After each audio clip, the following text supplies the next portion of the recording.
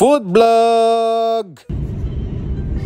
Ayan, good afternoon. Nandito po tayo sa Seafide Road Extension. Ayan, pupunta tayo sa SM Sukat at kakain tayo sa isang buffet na tinatawag na Hukad. Ayan, ah, bago nga sa paningnig, ano, bago pa sa parinig ko yan. Oo, kasi alam ko yung mga kabalin, yung mga Pilipino food eh. Pero ngayon tatry natin yung Hukad Filipino Fiesta for only 500 pesos. Makakain ka na ng buffet na marami. Ayan, at siyempre Sunday ngayon, so it's family day.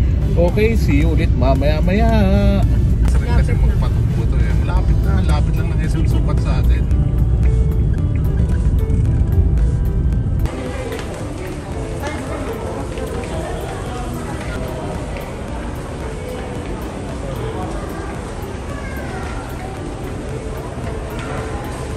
बिना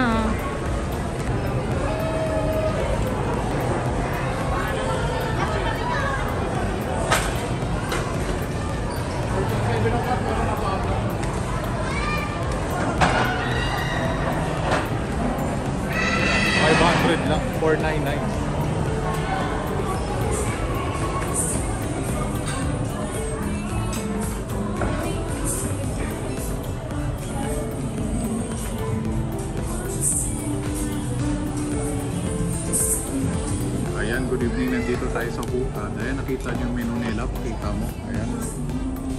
Ayan, meron ka rin menu. Yes. Ayan, mas malinaw. Kung ano meron. Ayan, meron tayong meats, Pinoy street foods, veggies, seafoods, rice, drink. Ayan. So, ayan. Unlimited Filipino Fiesta 499. Ayan. Dito na tayo sa Hukad. Ayan yung kanyang restaurant. Ayan, busy sa baby. At syempre, inintay natin ito yung may ating menu. So by this time, pwede kong order ng dalawang meat, dalawang seafood, at tag-isa dito. Ayan. So for only 500 plus additional po pag may gusto kang lechon belly or beef. Okay. Ayan, hintayin natin yung order natin. Mamaya na lang ulit. Bye-bye. So I mean, first batch of order, dalawang meat, dalawang seafood, dalawang street food at isang sides. Unang batch pa lang yan, pwedeng ulitin mamaya. Ayan, so ayan, dumating na yung first batch ng order. So may bagong rice dyan. Ayan, ito yung Bicol Express. So ganito lang yung serving na binibigay nila. Ayan yung lechon belly or pork belly. Ayan, may siomai, two piece. Ayan, kasama na yung Shanghai dyan, calamari, tsaka yung gulay. Ayan, mamaya ulit sa second batch natin. Bye-bye!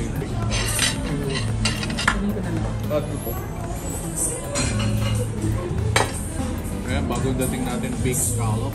Ayan. Wow. Uy, tapon pa. Hindi ka na. Ayan, no? Siguro ito yung shrimp, tapos may salmon. Ano to?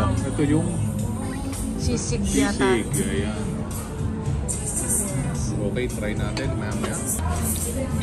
Ayan, barbecue. Ayan, yung anak mo, pakita mo kumain. Sarap. Ayan, barbecue. Pakita mo. Try natin. Okay naman. Sarap. Ayan, so marami na tayo dito. Unang batch pa lang ito ng order, pwede tayo ng second batch. yes. Kaya may kasama na pala siyang iced tea. Yes. Okay, sige. Bye. kain na. Ayan, so itong salmon belly na to, literal na belly lang yan. Tapos itong scallop natin, cheesy scallop also ito. Wow. Panalo to. Yan ito, medyo maalat nga lang yung pinaka-belly nila. Yum, yum, yum, yum, yum! Yan, sahog na yung first round natin. Wala na makita mo. Wala na, pero meron pa tayong kanin. Kaya pwede tayong mag-round two. Sige, mamaya order ulit ako. Ayan, Filipino Pilsino. Lapit ka, Mark. Ayan, Filipino. Nakita mo yung kisa mo Pinoy na Pinoy yan. Kaya nagsandilyang nilang pinya.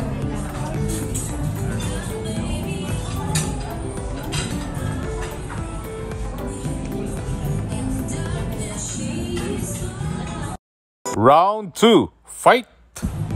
Okay, okay. Round 2 tayo. Ayan, round 2. Dumating may konti pa tayong kanin dito. Ayan. So, dumating scallop ulit in order natin. Siyempre, pritong tilapia. Ayan, may sangay siya kasama. Tapos may mga inihaw siya dito. Ayan, round 2 na to. Kaya konti lang muna.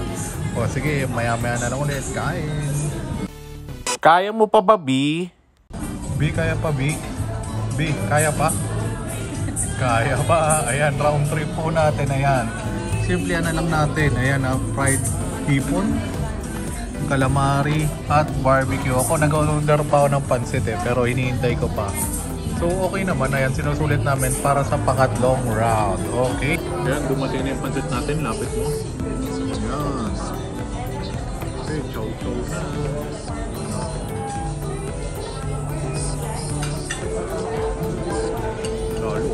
Makalipas ang dalawang oras, Ayan, tapos na tayo kumain. Yan, sol.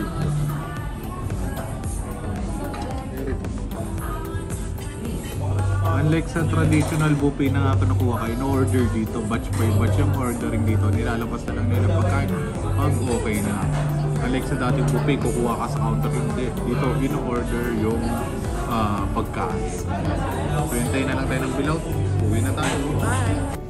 Okay, ayan, ayan, pauwi na tayo ng Las Piñas at syempre nabusog tayo sa pagkain natin sa hukad. Akalain mo. So gumastos kami around almost 1,100 pesos lang para sa dalawang tao. Pero Diyos ko, grabe ka naman kabusog. Yung lasa niya sakto lang rin. May yung kanyang lechong belly medyo pinagsisiyan ko yun kasi medyo maalat yung timpla niya pero malutong naman ang kanyang skin. Kaya kung gusto mo ng mga sulit dining, panalo na rin siya sa 550 pesos per head kasi may extra tayong belly. Ayan, ayan. Sa susunod na lahat food adventures at vlog. Bye-bye! Bye-bye!